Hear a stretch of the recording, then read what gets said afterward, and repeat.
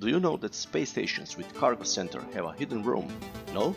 Well, then let me show you.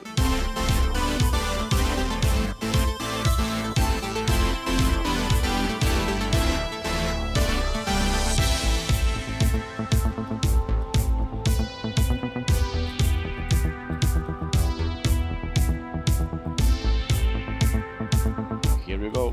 Feel free to check this out.